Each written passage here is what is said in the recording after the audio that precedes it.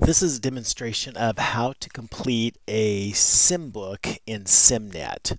So from your learning management system, uh, click on the SIMbook to open and it'll take you to this page. Click on the Open SIMbook button and that will open the SIMbook. A little bit of navigation here. This icon at the upper left here is your bookshelf and that will take you to the books that you have purchased through SIMnet. Uh, this icon is the table of contents that will allow you to jump around throughout the book and you could use that and that's a quick way to flip through the pages.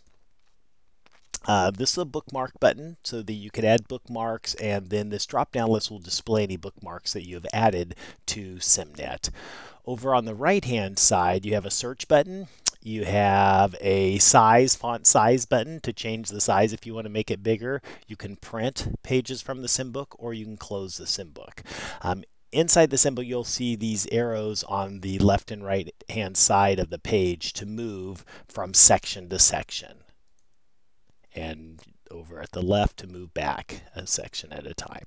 So when you're completing a SIMbook, you want to go through and complete the Let Me Try interactive activities. So as you go through a chapter, it gives you information here, plenty of screenshots about the different features you're learning. And then as you get down to many of the how-tos, there will be show me, guide me, and let me try.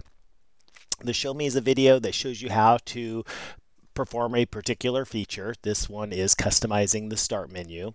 Uh, Guide Me will tell you how to do it, walk you through step by step, and the Let Me Try is where it tells you what to do and then you have to do it. Sometimes it's answering questions, sometimes it is uh, performing a task within a specific application. Um, for this course, you're only required to complete the Let Me Try. So click the Let Me Try button.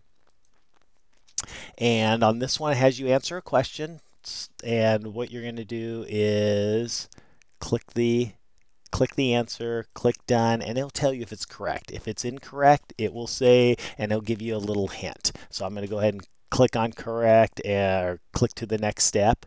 And I'm going to do the same thing here to resize uh, read the question here select the answer and click done. And then it says you've completed this task. So I'll click this again and it'll take me out. Notice the check mark means that you've completed that task. And then you would move on to the next one. Scroll down and this would be the next one.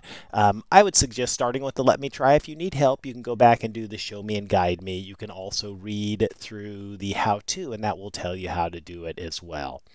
As you exit out of the SIMbook, the X in the upper right hand corner here, it will it will exit out of the SIMbook. It won't close SIMnet, just exit out of the SIMbook. and it will also show you your progress. So over here at the right, this will tell you, um, this tells you how many uh, let me tries there are. So I've completed one of the four let me tries on this one.